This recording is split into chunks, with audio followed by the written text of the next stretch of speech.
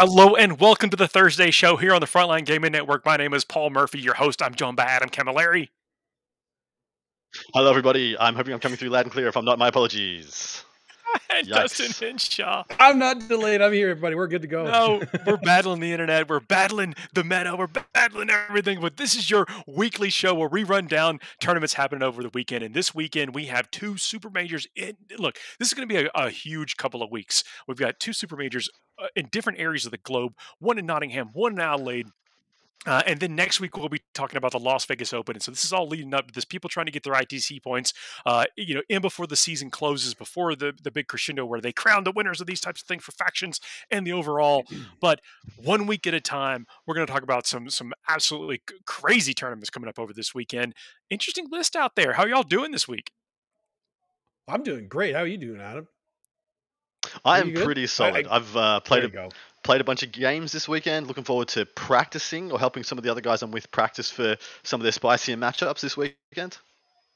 I have been playing every day. I have two more games tomorrow, and I'm not even going because I can't. But I'll be there virtually. Yeah, Uh, so this this is the I show where we love run it, love down it, mate. The tournaments, the list, the factions you're going to see, the meta. You know, we're going to talk about what, what the meta is at the individual events. We're going to talk about how to beat the meta. We're going to also, you know, maybe talk about who we think's going to win or who we think's had the best shot, and we'll also highlight what we think are some pretty exciting lists we have we see coming up over uh, these course these tournaments. We're going to talk about two. The first one is going to be the Adelaide Uprising uh, in South Australia. It's 131 players, eight round. Is that a super major? Is 131 players a super major now? Is it just Is a it? just a giant major? Uh, Super Major, I thought was. I actually don't know that the threshold for a- Super Major is. It What is sounds super to me, and I'll say It's, it probably it's, it's it, a super major. it probably seems super to those players super. as well. It's, yeah. a, it's a super major. Um, almost. Uh, th- if you're joining us this live this is in the, chat, the what? Uh, so, so Adam, I know we're bear with us, and thanks for everyone listening after the fact. Uh, Adam is normally spot on, but I want to give a big shout out to the folks already in the chat, already active in the chat. If you're listening to us after the fact, we do this live every Thursday at 9 p.m. Eastern.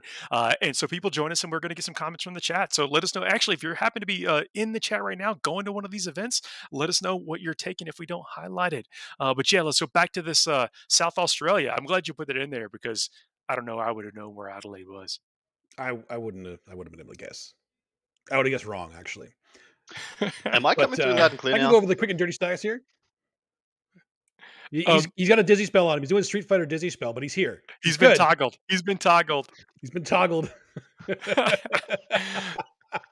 Well, d- getting this, getting into this, we are going to be talking about the list you're going to see there, and with it, with 131 players, that you know, the, this is when it really gets interesting. Is is that we get to see the nice spread of lists that people are taking, but more importantly, we get to see some lists that that, that aren't being taken. And just because it has a low number of, of of representation at the weekend for the faction, it doesn't mean that those players are preparing to win the whole thing.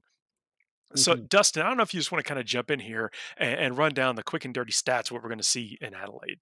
Absolutely, I would love to. I love going through the quick and dirty stacks of these super majors. Like you said, I like seeing the different spread of the the armies that we're going to see here. Some that aren't being taken, and some that are that we don't usually see. So the Imperial Super Faction, we have nine sisters, nine Custodes. They are shooting up there. Seven Admech, three Astra Militarum, five Grey Knights, and six Imperial Knights.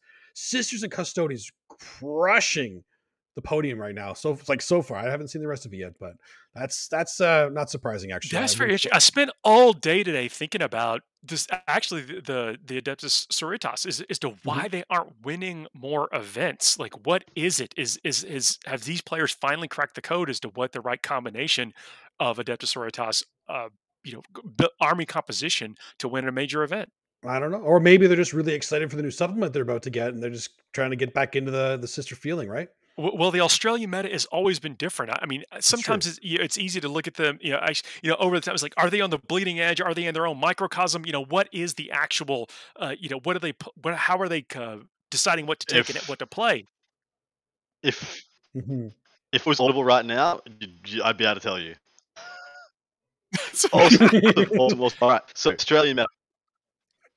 Tried to launch. It's better for us- to launch. Um, it's better for us to guess at this point. But sorry, we'll come we'll come back to that. Uh, what do we have in the Space Marine Super Faction?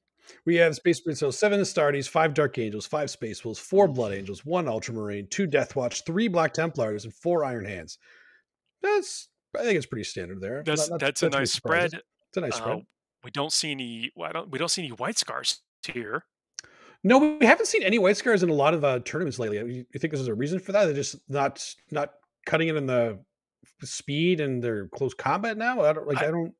I wonder if if the I mean, look, we, movement wins games. We know that. Uh, we we see that. It's actually why some of the factions are, uh, you know, see I think have a little bit higher win percentage than Mhm. than maybe you can attribute to their stats. The rest of their stats, their movement stat is is big. Maybe they just aren't able to deliver. You know, are getting across the table for these things that that you know maybe not as efficient on the points side of things isn't what's winning games, and so people are going for more durability or more utility, different utility out of the Space Marine faction. Yeah, no, that makes sense. I mean, the plus one damage doesn't help against all this minus one damage stuff out there. So, like, one of the major chapter tactics is just not helping them, right? The speed is one thing; it's great, but it, kind of feels bad if you only get half of it. It's almost better to take Death Watch at that point, so you can kind of mix between them as need. Right? Uh, yeah, yeah, or opt for one of the you know what we see is the the this the kind of build your own Astartes. there that- are that seven has of, been very so, I popular mean- recently. Yeah, yeah, it's, pr- there there probably is some um, white scar types in there, some Iron Hand types in there uh, that have not been declared. That, that makes sense too. About the Australian meta in, in the, the Word doc, the one you should read out. Oh, here we go. Okay, I got it. I got it. I got it. this is the only way I can. It's the only way I We'll- can contribute we're gonna to this. we're gonna be doing this. We're gonna do this uh, kind of reading style. Then I'll- I'll- I hope Passing notes, abbreviate it's like the stuff. telephone Passing game. notes, yes. Uh, uh, From so it might it might be a little to bit uh, me different, but To the listeners, what is it actually going to say at the end of this? Let's see. All right, the Australian meta is defined by team play. So most players are gearing up for team events, and the restriction on a single faction per team. We have many, many faction specialists who've developed over the years. Additionally, sisters is in high numbers because they're expensive AF in Australia, and chances are if you have a big sister army, you don't have money to go in another faction anytime soon. So there you go. There's the there's the quick and dirty on what the what That's that means on interesting. So, I mean, that really could play into effect. You know, you play what you have, and especially Mhm. uh, one of these big events, you want to be a part of it. You want to show up on that stage, uh, and so people are going to bring what they have. But I, I still I stand by this: is that that faction has all the tools, uh, Yeah. but I really think they they get hampered by a mismatch somewhere along the way. You know, somewhere over the course of the mid rounds of that tournament, they get paired up against something that they did not tech against. Uh, But I Mhm. think there's enough in that book, and maybe with that saturation of players, what percentage of players is that uh, of the overall event? It's a decent chunk. It's a uh, decent that- chunk, yeah. Yeah, they, that may have figured it out. But you know, we'll see. Yeah, I'm, I'm interested to see that too. See how they do. Yep. Uh, onto the Chaos Super faction, we have one Chaos Soup, two Chaos Space Marines, six T Sons, nine Death Guard, just always Death Guard, one Daemon, and one Renegade Knight. Look, you know how I feel about Death Guard. Ah. They're one of those those factions again that that you know they're really tough on paper, but when you start figuring out like, oh crap, I've actually got to score objectives on the table, it gets a little bit more difficult. Uh, Mhm. but again, maybe they're you know we're seeing people figure out how to opt in for more movement types of things in those lists.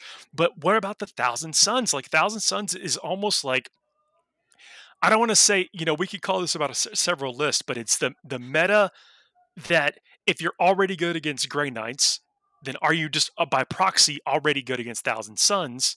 And do the Thousand Sons have fewer tricks? They don't have a Dread Knight in their in their army. Mhm.